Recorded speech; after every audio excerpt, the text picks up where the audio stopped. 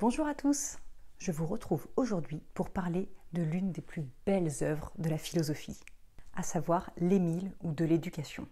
Alors pourquoi, selon moi, est-ce la plus belle œuvre de la philosophie? Déjà, elle est écrite par Jean-Jacques Rousseau, et vous connaissez mon amour pour Jean-Jacques. Et ensuite parce qu'elle traite de l'enfance. Oui, cette merveilleuse période de la vie qu'est l'enfance. Merveilleuse quand on est soi-même enfant, hein, pas quand on a des enfants, on est d'accord. Et il se trouve que c'est l'une des seules œuvres en philosophie qui ne traite uniquement de l'enfance et de l'éducation de l'enfant. Vous trouverez parfois dans d'autres œuvres des petits passages sur comment éduquer les enfants, ou bien des enfants qui sont pris comme exemple, mais jamais vous n'avez eu d'œuvre qui traitait entièrement de l'enfance. Je parle surtout des philosophies avant le XXe siècle. Évidemment, depuis, et on verra pourquoi, il y a eu beaucoup plus d'écrits autour de l'enfance et de l'éducation. Mais voilà, c'est une vidéo que j'ai envie de faire depuis très longtemps parce que c'est vraiment une œuvre qui m'a énormément plu et que j'avais envie de partager avec vous aujourd'hui. En gros, j'ai envie de vous montrer pourquoi c'est une œuvre euh, waouh. Pourquoi elle a complètement tout pété dans le game de la philo. Ouais, Rousseau, c'est un peu le mec disruptif de son époque. Et pourquoi en fait éduquer ses enfants, c'est genre important. Vous noterez la grande qualité littéraire de cette introduction. Alors, L'Émile, c'est un livre qui est lourd. Il pèse dans le game, mais il est aussi lourd. C'est voilà, c'est une bonne grosse œuvre à se taper. Mais avant de rentrer dans le vif du sujet, il faut que je vous parle un petit peu de Rousseau. Je vais essayer de vous résumer sa vie en une minute. Alors Rousseau, il est né en juin 1712 à Genève. Et oui, ce n'est pas un philosophe français. Et on va dire, il s'est fait un peu son éducation tout seul. Alors on pourrait l'imaginer en train de jouer dans la boue avec ses pieds. Non, le mec a appris à lire tout seul en lisant Plutarque. On est sur un, petit niveau d'intello. Ensuite, il a énormément voyagé pendant sa jeunesse. Et surtout, il était très très fan de Voltaire. En mode euh, presque groupie, quoi. Faut savoir que Voltaire donc, est un petit peu plus âgé que lui et qu'à l'époque, il était déjà très célèbre. Et Rousseau adorait Voltaire. Il lui a même dédié ses premiers écrits, il lui a envoyé des lettres en mode euh, euh, je kiffe trop ton travail, euh, ça ne dirait pas de, lire un peu mes livres. Et ça a été un peu le grand drame de sa vie, c'est que Voltaire s'est foutu de sa gueule. Oui, bon, faut savoir que Rousseau, il est un peu susceptible. Voilà, on est sur un mec un peu susceptible. Et la plupart de ses écrits ont été très peu appréciés de son époque, voire interdits. Donc en fait, il n'a pas eu une vie hyper facile parce que bah, c'était un petit peu les pamphlets contre lui, euh, ses œuvres étaient brûlées, il était condamné, du coup il n'avait pas beaucoup de thunes. Euh, il s'est marié, il a eu cinq enfants qu'il a abandonnés euh, au passage, mais bon, ça c'est un autre sujet. Il a participé à l'encyclopédie, parce qu'il était quand même pote avec les philosophes de l'époque, mais grosso modo il est mort assez seul, assez pauvre et assez déprimé. Il a fallu attendre quelques années après pour découvrir qu'en fait il était cool et qu'il soit re à la mode. Du coup, une fois qu'on s'est rendu compte qu'en fait Jean-Jacques euh, c'était le best du best, bah, il a été déplacé au Panthéon. Et pour la petite histoire, il est enterré au Panthéon juste en face de Voltaire.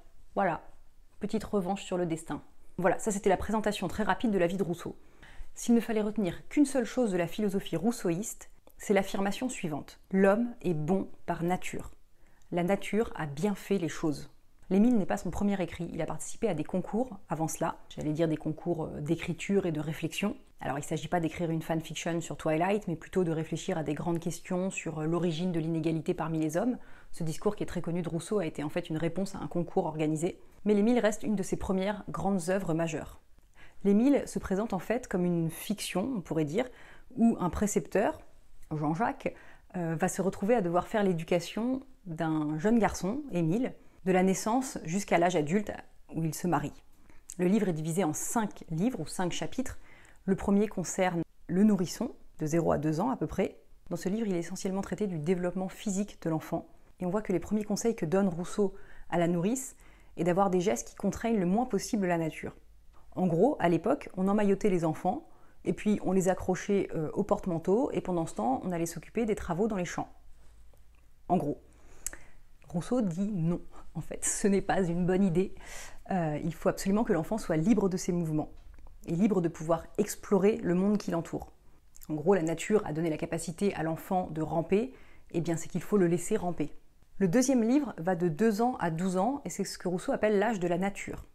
Contrairement à beaucoup d'éducation de l'époque, Rousseau n'encourage pas Émile, de ses 2 ans à 12 ans, à rester enfermé pour lire il encourage les jeux d'extérieur, il, encourage Émile à rencontrer des gens, à se sociabiliser, à découvrir le monde.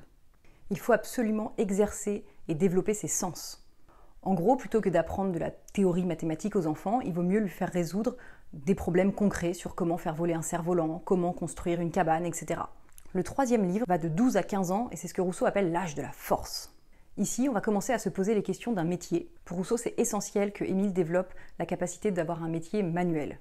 Le quatrième livre va de 15 à 20 ans, et c'est en gros la puberté. Ce livre va être consacré à, l'amour, aux sentiments, à la religion notamment. Il y a une grande partie de ce livre qui s'appelle La confession du vicaire savoyard, puisque Émile va rencontrer un, vicaire qui va lui parler de la foi. C'est d'ailleurs un petit texte qui souvent est publié euh, en plus de l'Émile, que vous pouvez lire voilà, complètement euh, indépendamment. Euh, c'est une belle réflexion sur la religion naturelle, on va dire, et sur la, foi. C'est une sorte, c'est une profession de foi. Et dans le dernier livre, c'est l'âge adulte, l'âge à laquelle Émile va se marier.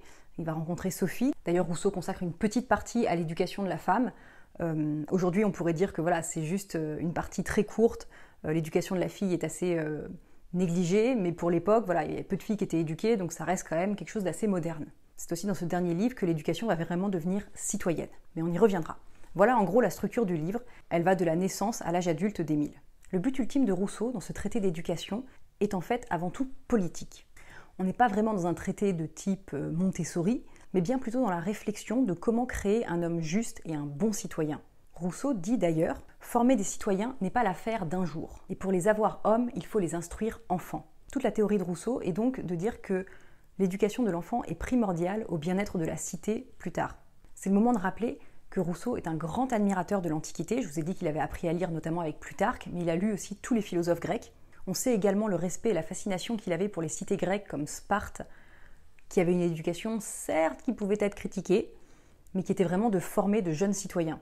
Et on peut aussi rappeler que par exemple dans la République de Platon, il y a tout un chapitre qui est consacré à l'éducation des fameux gardiens de la cité. C'est-à-dire que déjà à l'Antiquité, on s'interrogeait sur l'éducation du bon citoyen. L'éducation était un pilier de la cité juste. Alors avant de rentrer dans le vif du sujet, je voulais parler un petit peu de la place de l'enfant à l'époque à laquelle Rousseau écrit, et quel est un petit peu son héritage euh, sur les questions de pédagogie et d'éducation. Parce que c'est toujours très important de replacer une œuvre dans son contexte historique, politique, social. Vous vous en doutez, l'enfant n'a pas toujours eu la place qu'il a aujourd'hui. Alors, tous les penseurs et les chercheurs ne sont pas forcément d'accord sur quelle place avait l'enfant à quelle époque, mais une grande partie des penseurs modernes, tels que Philippe Ariès, ont tendance à dire que l'enfant est né au XVIIIe siècle, à l'époque à laquelle Rousseau commence à écrire. On ne peut pas non plus complètement désigner un moment où on s'est dit euh, tiens, on va s'occuper des enfants. Comme tout, c'est un petit peu euh, fluctuant selon la géographie, selon les cultures, même selon les époques. Il faut savoir que la mortalité infantile a été tellement importante pendant très longtemps qu'en gros les familles ne jugeaient pas les enfants utiles avant un certain âge. Souvent l'âge à laquelle ils pouvaient commencer à participer aux travaux des champs, par exemple. Petite chose amusante, on remarque qu'au Moyen Âge, il n'y a pas de mots dans la langue française pour désigner les différents âges de l'enfant. Les mots qu'on va trouver sont souvent empruntés à d'autres langues, tels que bambino, qui donnera le bambin, ou le provençal pichoun. Alors qu'aujourd'hui, on va avoir 27 mots pour décrire toute l'évolution de chaque âge de l'enfant. Que ce soit donc le nourrisson, le bambin, le jeune enfant, le préadolescent, l'adolescent, etc. On remarque aussi que dans l'art, l'enfant est certes présent, mais il est souvent représenté comme un petit homme. On voit souvent dans les peintures d'ailleurs des enfants avec des gueules cheloues, mais parce que ce sont juste des hommes euh, miniatures. En fait, il n'y a pas de singularité de l'enfance. Avant l'âge adulte, il n'y a rien si ce n'est d'être avant l'âge adulte. L'enfant est aussi considéré comme faible. Il appartient aux couches sociales les plus basses. Évidemment, il n'y a pas de droit de l'enfant, euh, droit du travail des enfants, etc. J'ai presque envie de dire que tuer un enfant, c'est un peu comme aujourd'hui écraser un chat. Ah bah merde, t'as écrasé le chat de ton voisin, mais on va pas non plus t'envoyer en tôle pour ça. D'ailleurs, on observe au XVIe et au XVIIe siècle une discipline souvent stricte et assez humiliante pour les enfants, avec notamment des sévices corporels. Bon, après, il faut pas se dire que nos ancêtres euh, étaient des gros bâtards avec les enfants et n'avaient aucune sensibilité face à ces petits êtres faibles et adorables. D'autant plus avec le progrès des sciences au XVIIIe siècle, qui fait diminuer énormément la mortalité infantile. Pour info, un nouveau-né sur trois mourait au début du XVIIe siècle, contre 1 sur 6 en 1850. Rousseau s'inscrit aussi dans une lignée d'écrivains qui ont traité de l'éducation, euh, que ce soit euh, Montaigne, Erasme ou encore Rabelais, sans parler bien sûr des penseurs grecs. Mais il faut noter qu'il y a quand même à ce moment-là un changement dans la vision de l'enfance. En gros, pour caricaturer, euh, jusqu'au XVIIIe siècle, c'était un petit peu binaire. C'était un peu tout ou rien. L'enfance n'était rien dans la mesure où elle ne correspondait à un moment de la vie où il fallait seulement corriger les mauvaises inclinaisons de l'humain, d'où une discipline très stricte. En gros, elle n'existait que pour préparer l'avenir. Ou bien l'enfance allait être absolument tout lorsqu'il s'agissait par exemple d'un héritier. Et Rousseau, avec l'Émile, va un petit peu offrir une troisième voie, une troisième vision, à savoir qu'il faut vivre pleinement l'enfance. Il faut l'aimer et la secourir. L'enfant n'est pas un homme miniature. Et ce que Rousseau reproche à la plupart des éducateurs, c'est justement de vouloir euh, raisonner avec l'enfant comme s'il s'agissait d'un adulte, alors que l'enfance est un état complètement distinct. Il dit il cherche avant tout l'homme dans l'enfant sans penser à ce qu'il est avant d'être homme.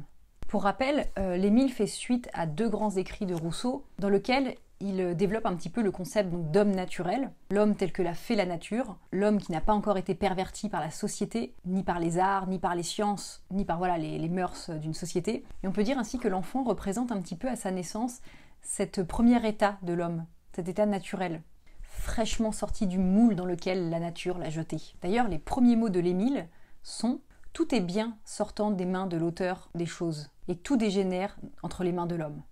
Alors, avec une intro comme ça, on va se dire, euh, du coup, à quoi sert l'éducation? Puisque l'origine même du mot euh, éduquer signifie contraindre. Du coup, on va contraindre la nature. Rousseau écrit d'ailleurs à son pote euh, d'Alembert, en parlant de son livre, L'Émile, ce livre tant lu et si peu entendu, et si mal apprécié, n'est qu'un traité de la bonté originelle de l'homme destiné à montrer comment le vice et l'erreur, étrangers à sa constitution, s'y introduisent du dehors et l'altèrent insensiblement. Donc en gros, l'Émile va se présenter un petit peu comme une expérience de pensée qui va consister à substituer à l'enfance de l'humanité, qui était donc un petit peu l'état de nature, l'enfance de l'homme. C'est pourquoi l'éducation présentée par Rousseau consiste à ne jamais instruire l'enfant de ce qu'il n'est pas en mesure de comprendre. Il va y avoir deux grands versants à l'éducation.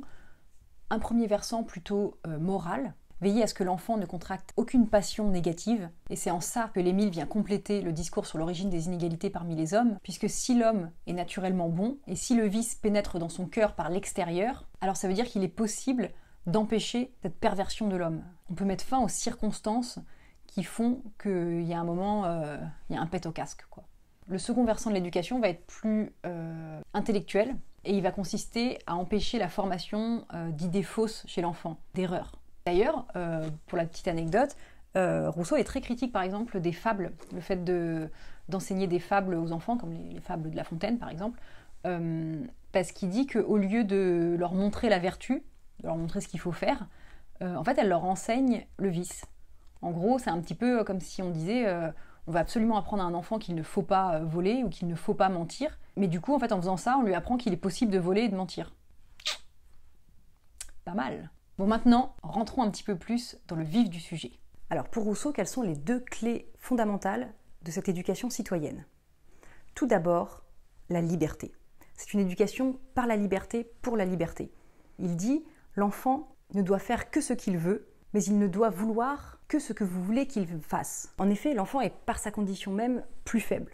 Il n'a pas la possibilité de répondre à tous ses besoins primaires. Il n'est donc en ce sens pas libre puisqu'il a besoin de l'aide d'autrui. Pour Rousseau, renoncer à sa liberté, c'est se nier en tant qu'homme, en tant qu'humain. C'est pour ça que l'éducation d'Émile ne va avoir qu'un seul but, former un homme libre, capable de se défendre contre toutes les contraintes à venir, et toutes les contraintes qui risquent de peser sur lui. Et pour cela, il n'y a qu'un seul moyen, c'est de le traiter en être libre, et donc de respecter la liberté de l'enfant. Aujourd'hui, c'est des concepts qui vont nous paraître assez évidents, mais il faut vraiment imaginer à l'époque l'aspect inconcevable de ce genre de méthode. Il faut donc respecter les besoins de l'enfant sans pour autant céder à tous ses caprices. Et c'est ça qui est assez rigolo dans le livre, c'est de voir, je trouve, se mélanger euh, des grandes théories philosophiques avec des exemples concrets euh, de caprices d'enfants et de, situations euh, dignes de super nanny en fait. Il faut vraiment entourer l'enfant d'un cocon de liberté et d'égalité, de faire de ces, de ces principes fondamentalement naturels que l'enfant va avoir naturellement, des principes vraiment ancrés en lui. Ainsi, Émile ne pourra plus, une fois adulte, supporter la tyrannie. L'individu, aujourd'hui, pour Rousseau, est complètement assujetti euh, au pouvoir. Euh, il dénonce bien sûr les, tyrannies de, son époque. Euh, et donc l'éducation va être de vraiment réconcilier l'individu avec lui-même. L'individu qui était né libre doit continuer d'éprouver cette liberté une fois adulte, mais d'avoir ainsi conscience de ce qu'est cette liberté. Il faut absolument qu'il la connaisse et qu'il l'éprouve. Cette éducation doit vraiment le préparer au métier d'homme. Il cite Vivre est le métier que je veux lui apprendre. Dieu m'a donné la conscience pour aimer le bien, la raison pour le connaître et la liberté pour le choisir.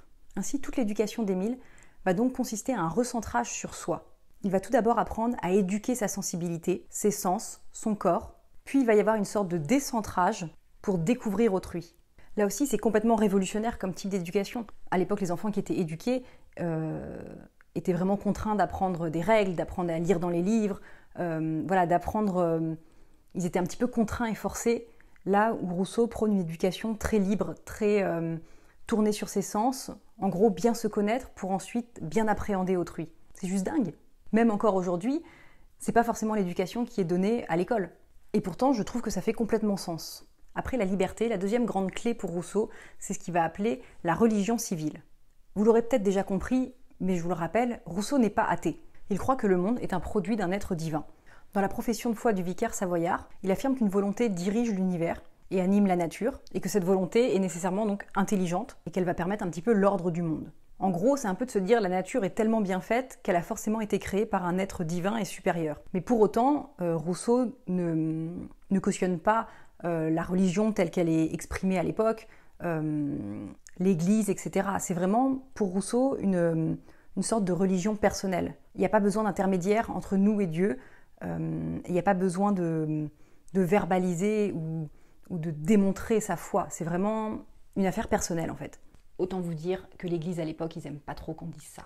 Cependant, c'est une position qui est assez répandue euh, chez les penseurs de l'époque. Euh, il va y avoir toute une partie de penseurs qui vont être complètement athées.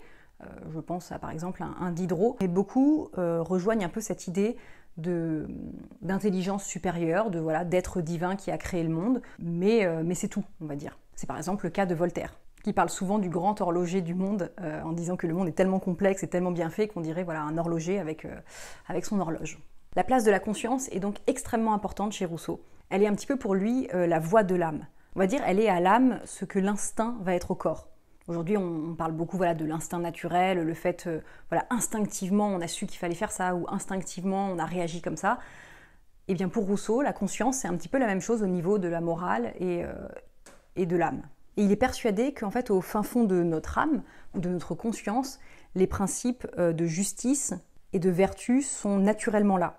Ainsi, ce qu'Émile euh, va ressentir au fond de son cœur comme un principe un petit peu inné de justice doit absolument être un fondement du lien social. Il faut absolument garder ce sentiment inné de justice chez l'enfant. Et c'est vrai qu'on le voit, euh, il suffit d'avoir des enfants autour de soi pour voir qu'il y a cette, notion de, de justice. Enfin, l'enfant va très facilement dire Ah, mais ça c'est injuste, ça c'est juste là où il y a beaucoup de choses qu'il peut ne pas comprendre en termes de moralité ou de, voilà, de, réflexion euh, un, petit peu, un petit peu poussée, on constate que, enfin je trouve que les enfants ont naturellement voilà, un sentiment de justice et de vertu, ou voilà, de dire ça c'est bien, ça c'est pas bien, et que peut-être on, le perd un petit peu en grandissant. Alors, euh, voilà, est-ce la faute de, l'éducation qu'on reçoit ou qu'on ne reçoit pas?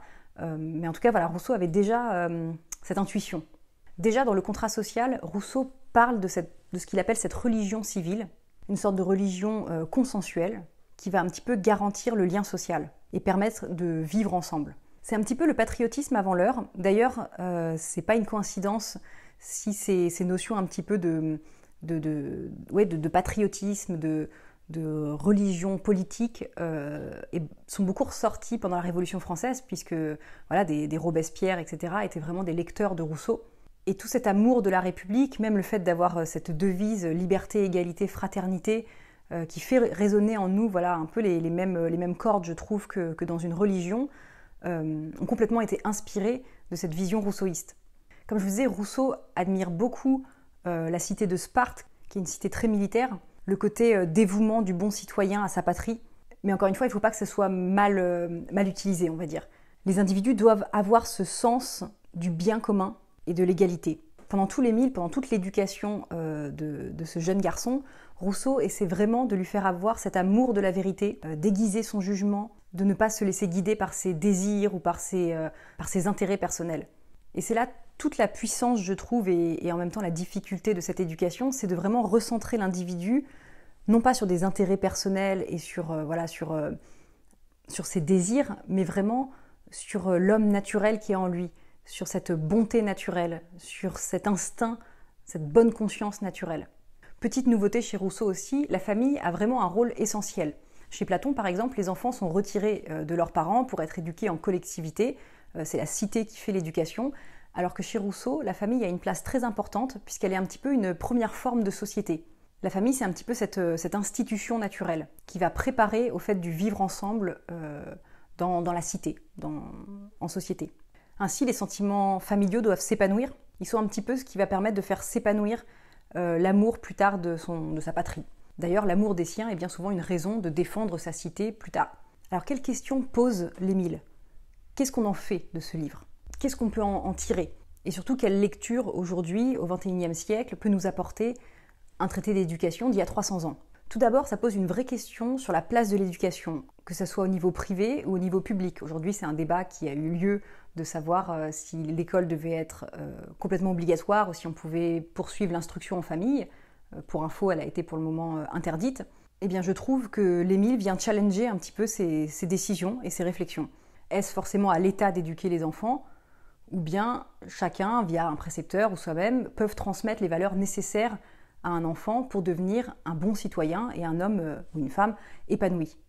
Certains critiques et penseurs qui ont suivi Rousseau ont fait un lien entre le rousseauisme et le jacobinisme, comme un petit peu un passage de l'idéal euh, au réel. En tout cas, on retrouve chez les jacobins, notamment euh, euh, par les suites de la, Révolution française et puis ensuite l'héritage de la Troisième République, etc., cette idée selon laquelle l'État doit éduquer. L'État doit avoir un rôle pédagogique. La République a un rôle pédagogique pour former le citoyen. Cette idée, en gros, que l'instruction publique est essentielle, que pour vivre ensemble, il faut avoir cette notion de vivre ensemble, justement, euh, de religion civile, euh, de, patriotisme, qui doit donc être inculqué aux enfants dès le plus jeune âge. C'est quelque chose qui permettrait un petit peu d'harmoniser euh, les intérêts personnels avec les intérêts du groupe, de la collectivité. C'est une vraie question de savoir comment former des hommes et des femmes, comment former des humains, des citoyens vertueux et éclairés pour une société. Et aujourd'hui, avec tous les faits divers justement qu'on entend sur ces questions d'intégration, de terrorisme, etc., je trouve que cette réflexion est vraiment au cœur du débat. Comment on fait pour former des gens pour qu'ils vivent ensemble? Quand je dis former, c'est pas forcément formater, mais pour épanouir chez l'individu cet amour de l'égalité, cet amour de la liberté, cette envie de vivre ensemble pour le bien commun. La question peut aussi être simplement est-ce possible? On peut promouvoir le fait d'avoir différentes cultures, différentes mœurs et tout, mais du coup, comment on fait pour les harmoniser, pour vivre ensemble? Voilà en gros tout ce que j'avais à vous dire sur les mille. Non, bon, en vrai, j'aurais pu continuer encore assez longtemps parce qu'il y a plein de choses hyper intéressantes, même euh, plein de petites astuces parentalité, j'ai envie de dire. Euh, peut-être que je vous ferai une deuxième vidéo avec vraiment euh, des concepts, des exemples concrets et des concepts de parentalité ou d'éducation propres à, certaines situations. Mais là, j'avais envie un peu de survoler toute cette œuvre et toute sa, toute sa puissance. Autant vous dire que l'œuvre a été très mal reçue à l'époque carrément euh, interdite, brûlée en place publique, euh, voilà, gros, gros échec euh, de communication. Moi personnellement j'ai pris un vrai plaisir à la lire. Alors oui c'est un petit peu long, ça se lit pas aussi bien que, Harry Potter, mais, mais voilà, on peut la lire en, plusieurs fois, faire un livre à la fois, ou bien voilà, la, lire sur, sur une durée assez longue. C'est pas comme si on allait oublier qui était qui, quel personnage faisait quoi. Hein. Encore une fois, la plume de Rousseau, en plus, est très très agréable à lire. Et j'ai trouvé ça très émouvant, en fait, de voir euh, euh, l'intérêt d'un philosophe, d'un grand penseur politique, euh, voilà, qui, écrit des constitutions, qui écrit voilà, des œuvres très poussées, s'intéresser à quelque chose d'aussi beau et d'aussi quotidien, on va dire, que l'éducation et l'enfance. C'est un livre qui a énormément de bienveillance, énormément de douceur, et de toute façon, c'est un petit peu ce qu'il y a dans toutes les œuvres de Rousseau, je trouve, mais c'est un, regard très. Euh, alors que le mec était un petit peu euh, défoncé par tous ses, tous ses concitoyens, euh, qu'on lui, on lui jetait de la merde à la gueule, il continue d'avoir une vision très belle, je trouve, de l'homme et de l'enfant, une vision très douce. Et du coup, ça fait que bah, c'est hyper agréable à lire. Bref, je vous encourage vraiment à le faire. Euh, vous pouvez même sauter certains passages s'ils sont trop ardus. Mais euh, voilà, lisez au moins, euh, l'introduction, au moins le premier livre pour vous donner une idée. J'espère que ça vous aura plu. si vous avez des questions, ben, n'hésitez pas à m'en faire part en commentaire. Dites-moi si vous l'avez lu et qu'est-ce que vous en avez pensé. Et moi, je vous dis à très bientôt pour une nouvelle vidéo.